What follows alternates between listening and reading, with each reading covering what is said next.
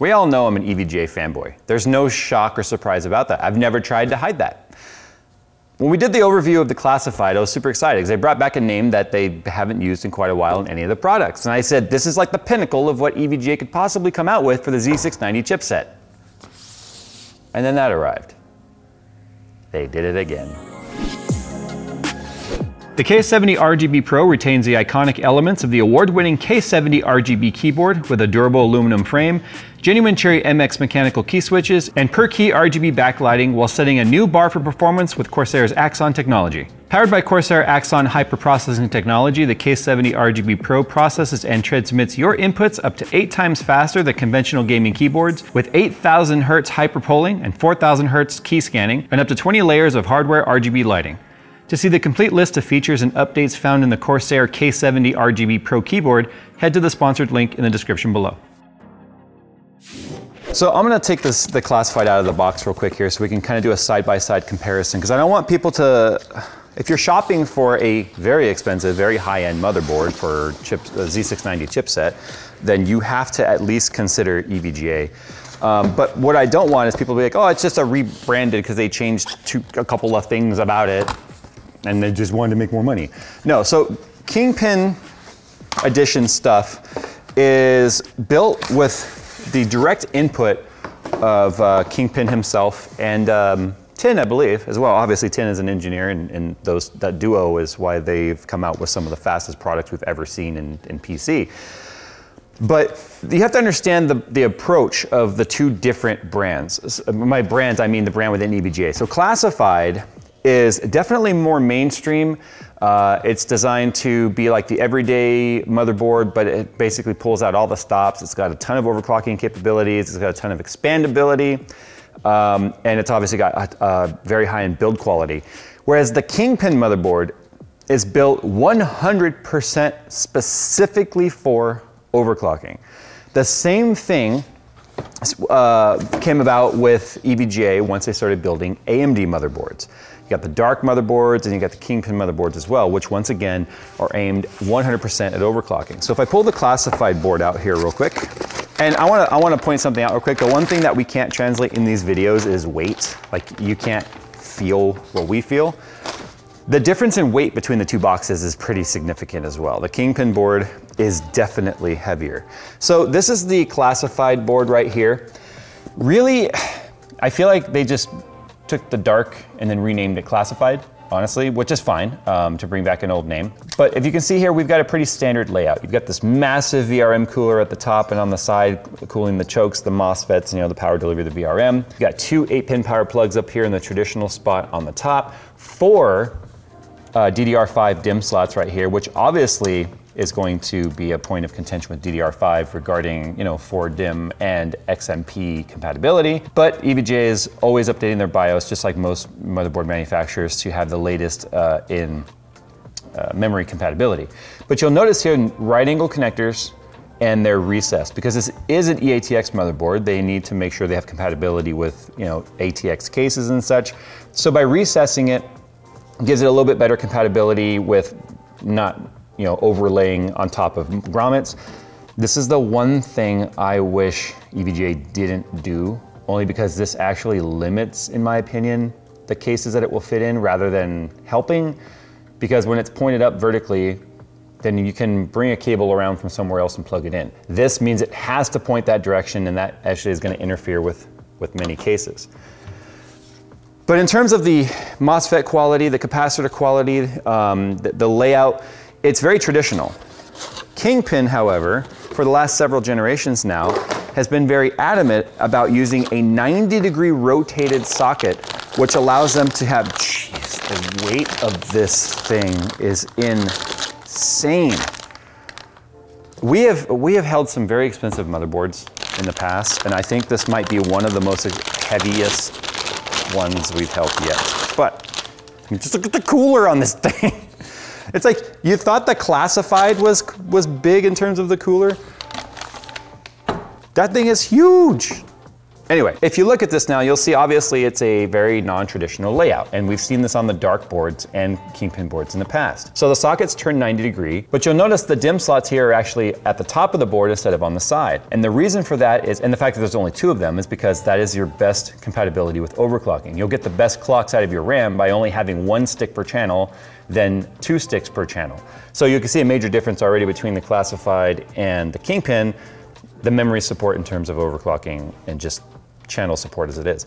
But the reason why he rotates it is because of the fact by putting all the power next to each other, you get a shorter, cleaner trace to the socket. Not to mention it looks neater too. You're gonna have both e EPS power right next to the 24 pin, meaning that you know if you if you want to cable manage the crap out of it, make it look super pretty, you can do that.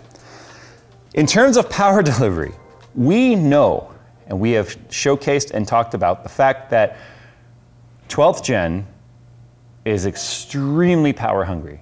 Just letting it boost on its own normal boost algorithm calculations with voltage and all that stuff will hit 250 watts no problem all day long. And if you start to overclock the CPU, that, that wattage just exponentially gets higher, which is why the Kingpin board features a 21 phase power delivery. That's not the highest phase we've seen, but we've seen that on things like Threadripper, and we've seen that on things like the uh, 3175X. 21 phase power delivery with this massive cooler is gonna be, and it's also digital VRM, obviously. Just about everything these days is digital VRM. It's still nice to put it on the box. It's a nice marketing, you know, piece to put out there, but Everything's pretty much digital VRM these days if it's a, any sort of a mid-range to high-end board. Well, on the back, we've got the same cover, so similar cover, which you see on the classified board. So there it is right there, kind of this brushed aluminum. So that's gonna help you keep from pinching anything on the back of the motherboard. If you've ever gotten a pinched wire, you know that sort of sucks. Look at the, look at the VRMs in there that that cooler is touching. It's just, it just looks like if you took the New York City skyscape and made it VRMs.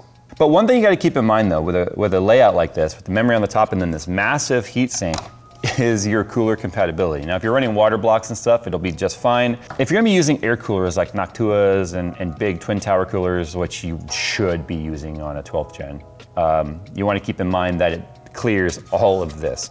Usually it will, but we have seen coolers in the past. If you're using an older cooler or something that you're trying to like move forward with your build, you might interfere with this. But this does also have active cooling inside of here. There is a fan inside of here that pulls air through these vents right here. I think it's actually the exhaust. There's a fan there. It pulls air through this grill right here and will exhaust the air. A couple other things that you get. You get the ProbeIt right up here, which is very similar to what you get on the EVGA um, for the Win and Kingpin cards. This allows you to plug in the harness that comes in the box, which then gives you probes that you can hook up the multimeter to so you can actually um, check the voltages anywhere on the board that is supported through this ProbeIt. So you can see hardware voltage for the core and all that. So you don't have to rely on software, which will have variance between what the actual voltage is and what the software readings are. So you, if you're gonna be going for extreme overclocking records and stuff, this board is designed for that. You've got a three BIOS switch right here. I've talked about this before recently in our, in our video about uh, graphics cards and motherboards having multi-BIOS switches right here. So you could have like an LN2, you could have like a overclocking, and you could have just a standard, different fan curves, the whole deal. So you could switch those. These toggle switches right here are kind of nice as well. These will allow you to turn on and off different PCIe lanes as well, so that if you want to turn on and off the M.2s or the PCI Express slots themselves, you can do that. And that's another thing that you would do specifically with extreme overclocking like LN2 and all that. If you weren't using any of these other lanes, you would physically disconnect them from the CPU, which is what that toggle switch does. Dual readout right here, so you can see exactly what's happening with your system. That exists on a classified as well. So they actually put a USB-A like physical dongle slot right there, slot, so you could just put your USB stick on there if you have to do some sort of a BIOS flashback. The one thing I still wish they'd get rid of is the yellow capacitors. You know, for whatever reason, I'm, I'm sure, I think this exact capacitor, for some reason, Kingpin's team just absolutely swears by, which is why they continue to use them. I just wish the company that they source them from would make them in black, because that, this is like such a perfect blacked out board except for the gold accents that you see. Um, Kingpin loves the gold accents. His Kingpin cards come with gold accents. His motherboards, the dark boards have always had gold accents. You'll notice here on the classified board, it's a little bit of a red accent there, and then there's no gold traces anywhere on the motherboard. U.2 right there, you've got a ton of SATA ports on here if you need them. And then we've got our USB, and then they give you these little covers, which is kind of neat. So if you're not using any of these plugs, they're not gonna be sitting there looking all ugly. So you've got another PCI Express slot right there. You've got some additional um, ARGB and 12 volt RGB headers right there. And then I believe that's our, yeah, that's our HD audio, which is awesome because no one should be using HD audio on there. Little things like this that make a board, um, it's obvious that it was designed by an enthusiast, right? For enthusiasts. This is our front panel connectors and stuff. And they give you a cover for this because a lot of people will be using a board like this in a test bench type scenario where they're not gonna have it necessarily in a case, which is why every single Kingpin motherboard also comes with this standoff PCB, which is funny because it's actually made from theoretically one of the PCBs, like it's PCB material. Doesn't have the holes and stuff drilled in there for all the traces, but this and then all the standoffs that come in it in here. There's the ProbeIt right there, by the way. Biggest antenna ever for their wireless, I swear. But you get these standoffs that you can screw into this, and then it gives you something to actually take the board and mount it to. That way um, it's off of the surface. If you have any sort of a heater on the back here, if you're doing any LN2 cooling on the CPU socket, usually there's a heater you put on the back right here to keep it from freezing. That will allow you to be able to use it in a test, best, test bench type scenario. So I absolutely positively would be using this in my personal rig and pivoting and changing the board out if it wasn't for these 90 degree connectors. It's kind of, it's kind of sad too because the power board built into the Spectre 3 on the case that I'm using even accounts for top mounted EPS or EPS next to the 24 pin. So I would have these really short, awesome cables, but because of the fact that when you do a 90 degree like this, the 24 pin is technically flipped the other direction, the cables that I have won't work with it. Now, if I use their 90 degree adapter that they have, then I got a 90 degree adapter coming out and then coming up, and then the cable sticks way high and makes a, another loop back, which just, in my opinion, doesn't look very good. So although just about every single one of my personal builds in the past with Skunkworks renditions had EVGA motherboards, I still continue to not be able to use them in my personal rig with the choice I made on case, simply because of the, the 90 degree, or technically these are 180 degree plugs right here. One other thing to point out, and we'll, do, well, grab my iFixit kit real quick, is the M.2 location, just like on the classified is right underneath the dark logo right here, and you've got three of them side by side. So one thing I forgot to mention too is the PCI Express slots on this motherboard are PCIe Gen 5. However, we're Gen 4 on the M.2s, and I suspect that is because of the fact that the Gen 5 M.2 spec doesn't exist yet. So maybe someone can sound off in the comments down below uh, if that's why these are Gen 4. But anyway, the fact that you have three of them right next to each other, I love that because granted your graphics card will cover this up, and this will really suck if you have like a hardline tubed water cooled graphics card or something on here if you want to get to your drives because you'll have to pull that out of the way. But I don't like when you have like one here and then another cover with one here and then like another one over here. It's like, I hate when they're spread out all over the board. So the reason why, you know, EVGA and Kingpin have done this, and by the way, this massive heatsink right here, it's actually a heatsink with heatsink shape, so any airflow over that will give really good cooling to the um, SSDs. I hate when they're spread out all over the board, but this is because of about trace length and just crosstalk and, and being a, an efficient board design. And then when you touch any of the materials, you can tell like it is absolutely like a spared no expense type of motherboard construction, which is why, you know, the price of the, uh, the Kingpin and dark stuff is um, not for the faint of heart. But history has shown that you do get what you pay for with the uh, Kingpin name. I mean, just go look at the uh, Port Royal leaderboards right now, man. I just, I let the professionals do it now. I don't even try. The amateurs have had their fun. The professionals are back at it. So anyway, there's an unboxing and first look at the dark board, the Kingpin Edition dark board. So if you compare it to the classified, you can see it's like classified on steroids. And most of that comes from like this section right here is realistically where the difference is between a classified and a kingpin.